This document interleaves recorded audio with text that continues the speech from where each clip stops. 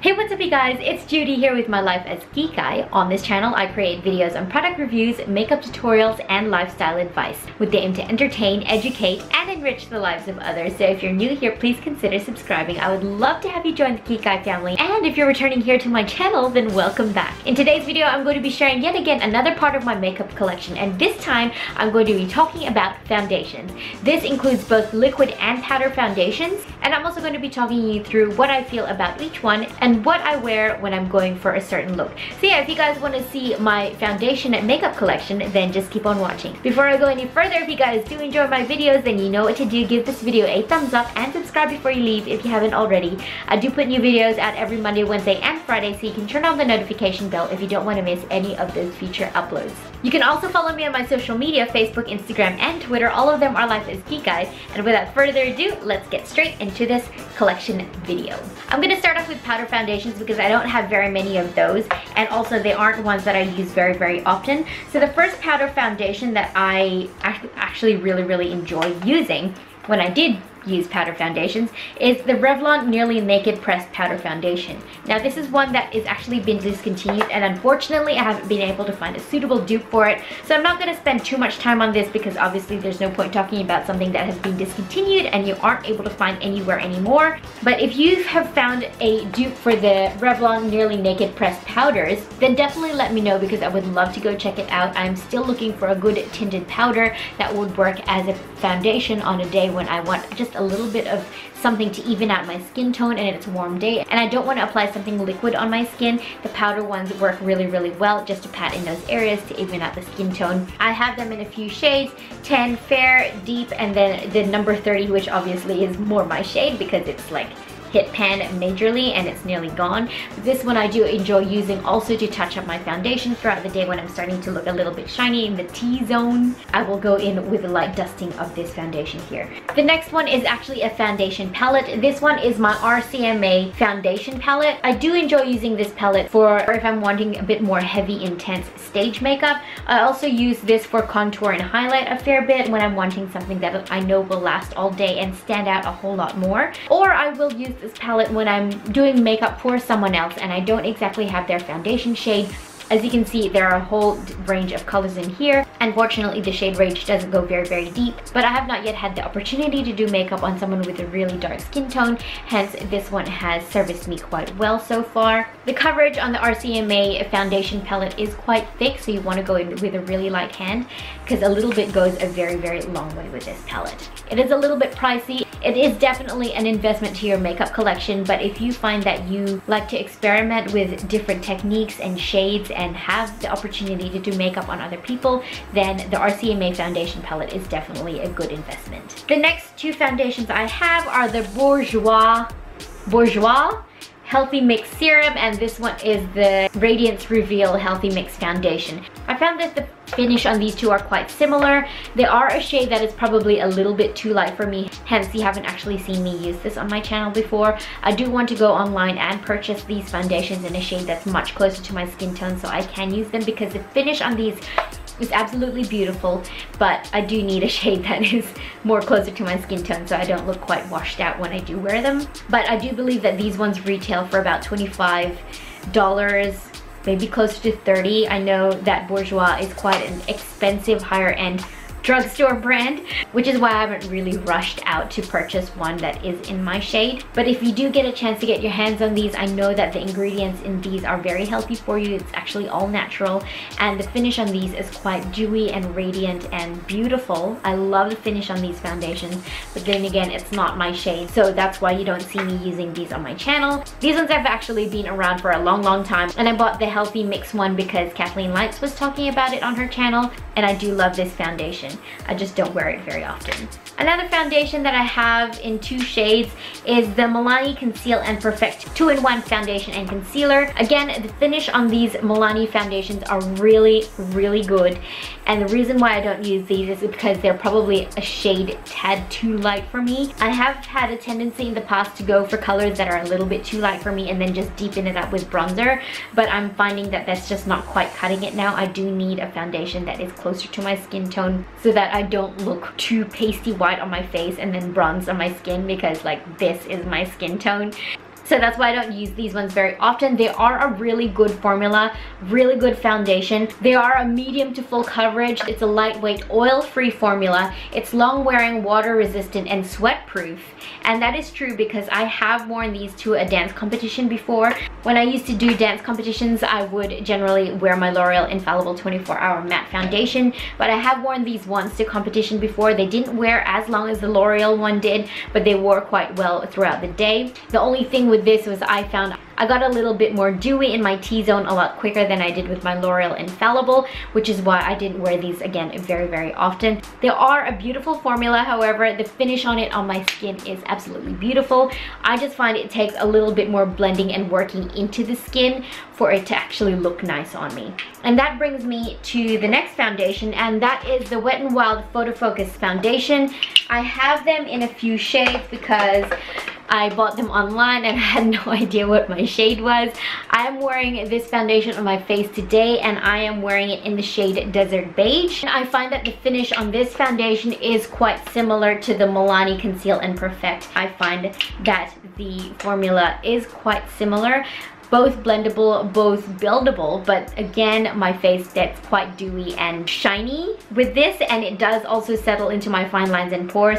It's just one of those foundations that you have to really blend and work into the skin to make it look flawless and smooth. Again, the Wet n Wild Photo Focus Foundation is what I'm wearing on my face today. It is a foundation that I do have to set on my face, especially around my T-zone, and a foundation that I do have to touch up every so often throughout the day. Like before before I started filming this video, I had to go in with my Beauty Blender and sort of tap in my T-zone area to work and press that foundation into the skin to prevent it looking bumpy and textured. But again, it's quite beautiful. I do really enjoy this formula. It does smell a bit like paint thinner, which is something that kind of turns me off using it more often. The smell does go away as you blend it into your skin. But yeah, I wish it didn't smell like that. It kind of makes me wonder what's in it that makes it smell that bad. But again, the smell does go away. The finish on the skin is really, really nice. I love it. It's just something that takes a little bit longer to work into the skin, which is why I really enjoy the L'Oreal Infallible 24 Hour Matte Foundation. This one blends into the skin, well, more for my skin, it blends in like an absolute dream. Blend, blend, blend with either a beauty blender or Morphe Beauty Sponge or my Morphe M439 foundation brush. You blend it in and it blends out in five seconds. It's also buildable. It is full coverage. On me, it's full coverage. It also evens out the skin, evens out the texture. As long as I prep my skin underneath, apply moisturizer and a good smoothing primer, this one lasts all day on my skin. I absolutely love it. It's buildable and it's not very heavy on me. Like for me personally, I don't like really super cakey heavy foundation. While I'm not wearing it today, when I do wear it, I look like I'm wearing a bit of foundation, but I'm actually not. It's really only one layer. All you need is one layer for me, and it really just evens out the skin tone and really blends out fine lines and pores. It doesn't settle around the nose for me. Often I don't even have to set this foundation with powder. It just sits really nicely and blends really nicely into my skin. This is my absolute favorite holy grail foundation that I cannot live without. This is what I will grab all day, every day. And I don't think that's gonna change for me. The next foundation is something I really enjoy using for contour. This one is the L'Oreal Infallible Foundation Stick.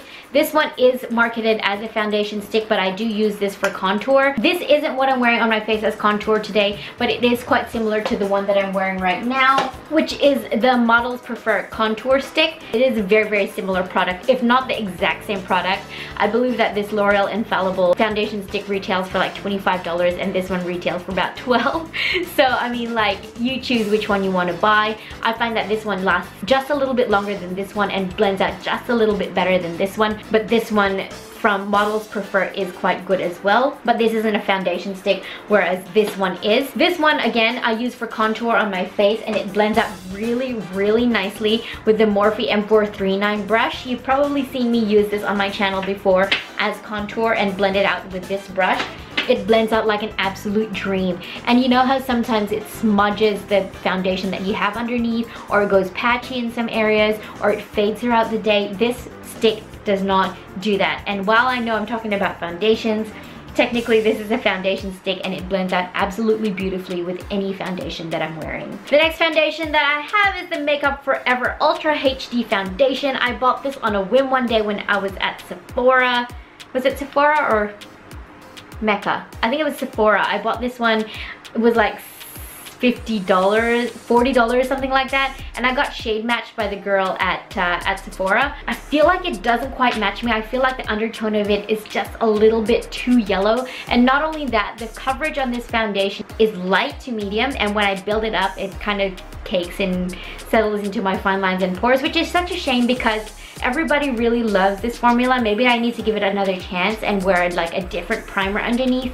I'm really bummed that this one, I just don't really have a good makeup day whenever I wear it. Maybe I should try it again because I still have a full container of this and I've I spent a bit of money on it. So maybe you might see me using this in some future videos because I just feel like I need to use it up. Not my favorite foundation, which is actually quite interesting because besides my RCMA palette, this is probably the most expensive foundation that I own and it's my least favorite. So it just goes to show you don't have to spend a whole lot of money to enjoy your makeup.